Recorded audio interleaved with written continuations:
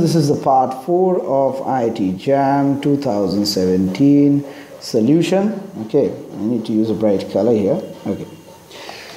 So I'm solving from question number 11. So now the questions are getting tougher as everyone is having two marks now.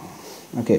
The flux of the vector field uh, is they have asked about and they have given it by an equation. If you got a 2 pi x plus 2x square you can see it and no need to read it. Along the outward normal now this one is a very important thing. There's inward normal and outward normal. Across the ellipse x square plus 16y square equal to 4 now we have to find the flux. Okay. So here we need a smaller diagram. So let's draw it so this is the structure. This is z equal to 0. This one is z equal to 1. So the whole part is 1. This one is S1. This is surface number 3. This one is x square plus 16y square equal to 4 as you can see and is 2 is this okay? Now uh, so here f equal to 2 pi x so, so given equation is this uh, so flux of the vector field along the outward normal there across the ellipse is actually equal to flux across. Now this one is a very important so as across surface of elliptical cylinder of unit height which I have drawn over here. Okay? So what we can write mathematically is f of n this thing so where s1 plus s2 plus s3 three surfaces together. So this one for s1 f of n ds sum of f n ds and f n ds and this is for s3 and this one is for S2. So now we have figured out the structure. So for S2 and S3, the normal is, so for S2, the normal is minus k hat and for S3 is k hat. And it's respectively, so the integral will become 0.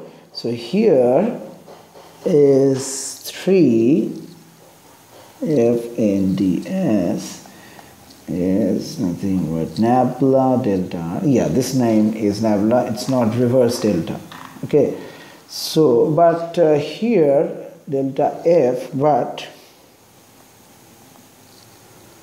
the dot product of f is nothing but 2 pi 4xy square by pi plus 2 pi x minus 4 by pi so here we can solve it via integration okay? So we can do it like hmm, integration f in ds triple integral as it's based on the structure okay? So this is 2 pi plus 4xy square plus pi plus 2 pi x minus 4 pi dz dx dy. So after the integration, this is 2 pi minus, uh, yeah, 4 pi will be outside and this will double integration dx dy plus double integral 4y square by pi plus 2 pi x dy dx. So you can put the value here 2 pi minus 4 by pi pi 2 half minus 0. So now uh, this is happening because f x equal to x so is an odd functional structure. So 2 pi square minus 4. So this thing is happening. So the answer to the question is option number B. Okay. So this one was a challenging question after all and now we will go to question number 12 and this about uh, let M be the set of all invertible 5 into 5 matrices uh, with entries 0 and 1 so it's a binary question. So for each M belongs to M. So let N1M and N0M denote the number of ones and zeros respectively. Then what is the minimum value of their differences? So here we can represent the structure in this way here. So like 1 1 1 0 0 0 1 1 1 0 and then double 0 1 1 1 you see the pattern? I'm introducing this 3 is going towards right right right. It's done. So again they're going one right. One outside of the structure so it doesn't matter. Then again they're going one right. It doesn't matter. So this is the way to remember. So the minimum value minimum of this m belongs m. N1m then 0 of m. So this is less than equal to n1m minus m0m okay so which is nothing but here we have 12 minus 13 mod so 1 is our answer. Okay. So next one is on the basis of E okay? It's a matrix. So m is given x is given so they have found limit m to the power n. So this is the tricky part of the question. So remember that whenever this kind of stuff is given, we need to find m square, m cube and check the pattern. If m square, if you do it like squaring it both side, as you know, so I am not going to solve those portions. 1 by 4 0 1 so this can be directly can put a value that is half square and this is uh, half. 1 by 4 plus 1 by 4 I can write the value but I'm not writing because it will help me later.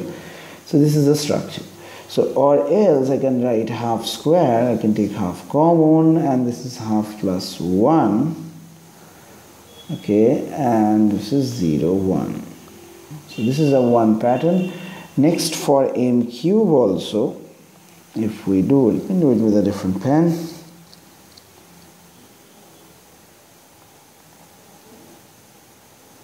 Hmm. So for m cube also you will see a similar pattern that is half to the power 4 1 by 4 half cube half square plus half plus 1 it's actually half to the power 0 and 0 1 so the base the second row is getting same. So in that way m to the power n can also be guessed now. So half to the power n 1 by 4 oh, sorry this one is cube okay so this is 1 by 4 this should be squared then. Yeah. Okay and half plus 1 this is for m4 I have written. Okay so the, uh, on the basis of this pre-calculations we can see that 1 by 4 I can write the m4 for you again. Okay if you have missed out this portion. Or rather this re portion again I will be doing. Okay so what is happening here? M cube if you do so that is m square into m. Let me do it 1 by 4 1 by 4 0 and 1 and then this value okay? So i'm not writing so this value.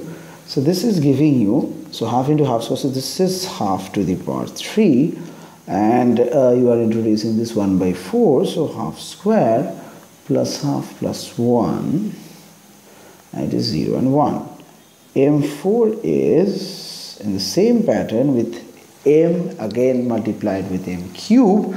So this is half to the power 4 now things are getting evident very easily. Half cube plus half square plus half plus 1 and this is 0 1 so obviously our answer to the m to the power n thing will be half to the power n and this is 0 and 1 and this thing is 1 by 4 and half to the power n minus 1 as whatever is happening 1 less half to the power n minus 2 plus dot dot dot and the last value is 1 so that's it.